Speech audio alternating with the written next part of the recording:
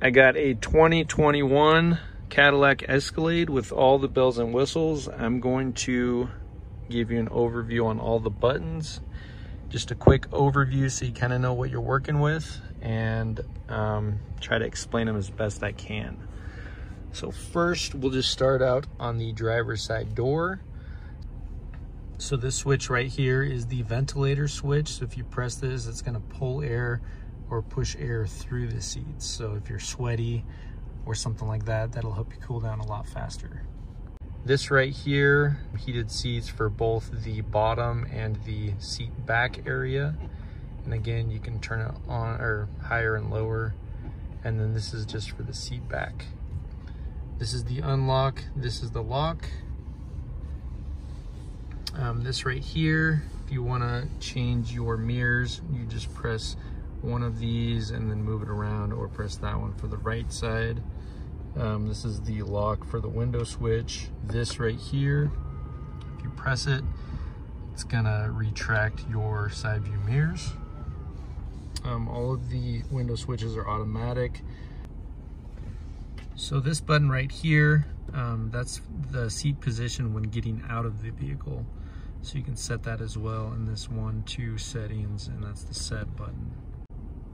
Okay, coming over here, um, we have auto for your transfer case. These are all transfer case settings. Uh, two-wheel drive high, four-wheel drive high. Um, use this if you're going up a hill, slippery hill. This right here changes your drive mode. You can change it to tour, sport, off-road, or tow haul. This right here um, lowers your suspension and this raises your suspension. So you can just keep pressing it until, you know, wherever you want it to go. This is your electronic parking brake. This right here is your trailer brake. So you can set that however you want um, just by pressing these and that changes the gain. This controls the interior lights, brightness, just like that. And so you have all that figured out. Now these heads-up display controls, um, you can just see that zero miles an hour right on that GMC tail light. So if I press the height, you can control where it goes. The brightness, you can change the brightness. And then you can also change the gauge for a map, or if you want to do the AR camera, you can do that as well. And then go from here, and uh, that's your trip settings. You just hold the trip down to reset it.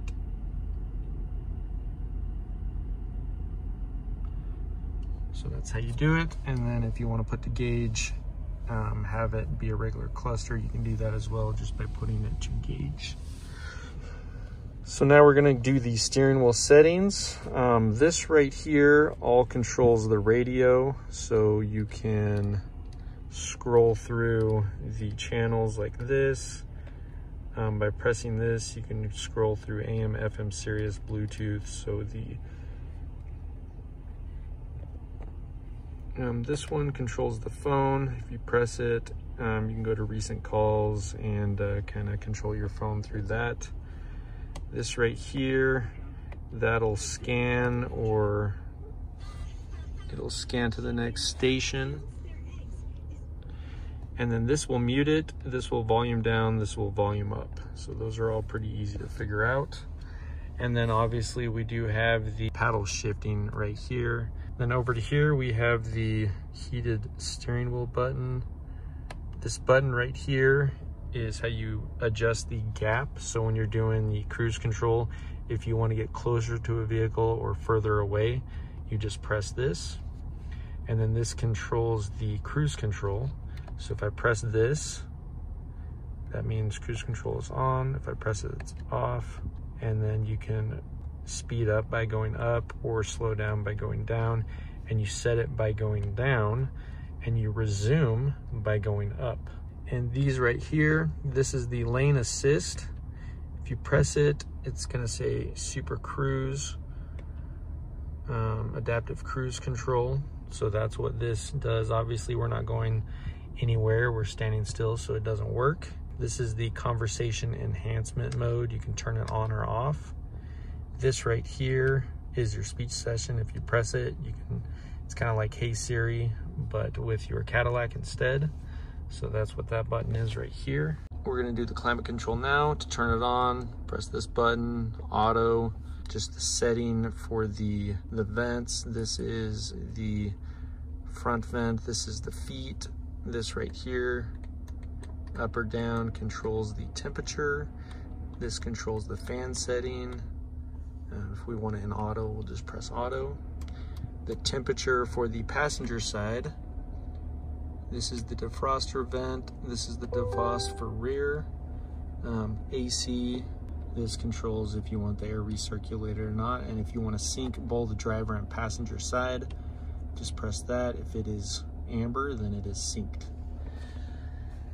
Okay, now we're gonna go to the radio, the information center, whatever you wanna call it. So it is touchscreen, so you can just touch where you want. Or they have um, this this area right here to control it. So this controls the, the volume. This right here, if you press it, it's gonna go to the radio section.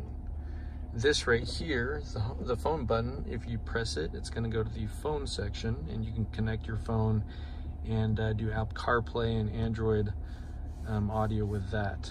This button right here um, will take you to the map section. This right here takes you to the vehicle information center. So if you need to reset your oil life or do anything like that, and then you can just scroll through these with this. So this right here is the back button, and then this button right here is the home button. And if you press down on this, that's also the enter button. And then this is your hazard lights. Just press it and your hazard lights go on. Now we're gonna go up to the overhead console. You got your OnStar, you got Call OnStar, you got your SOS button. Um, this right here controls your the cover for your sunroof so you can close it, you can open it. This will control your sunroof, the glass parts. You can slide it back or forwards. This lets your sunroof tilt. This right here controls your hatch, your back hatch, so you can control how high it'll go and if it's turned off or not. This controls your back seats. So I'm doing that right now. I'll do the other one. And they go straight down. That one is hitting on something. Um, this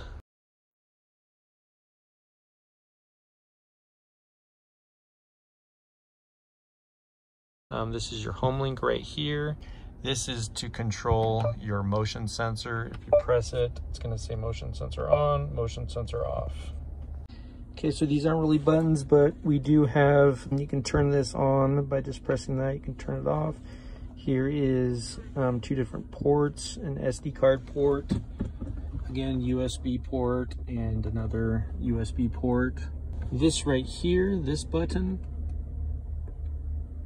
is your lane assist. So when you're driving on the freeway, you can press that and your lane assist starts to work. This is just a blank button automatic hold um, when you are driving in stop and go traffic you can press this and when you come to a stop you don't have to hold the brake down so you can take your foot off the brake so that's what the automatic hold button is for and then this button right here um, if you're parked can press it and it'll go right to park if you go to reverse you just press park and it'll go straight to park and again to shift you have to hold this button down. You can't just press it. It's not going to go anywhere. You actually have to hold the button down and go like that. So we're to go back. Okay, so here's kind of a cool thing with this rear view mirror. Hold this down. It's going to turn to the rear view mirror camera. So if you want to go through the menu, you're going to press this and you can go um, brighter, dimmer, and then you can zoom in zoom out. You can move it up and down. I think that's the only things you can do. So if you don't like this, you can just go back and it goes back to how it was before. So kind of a cool feature. It's probably one of the things that I like the most on this.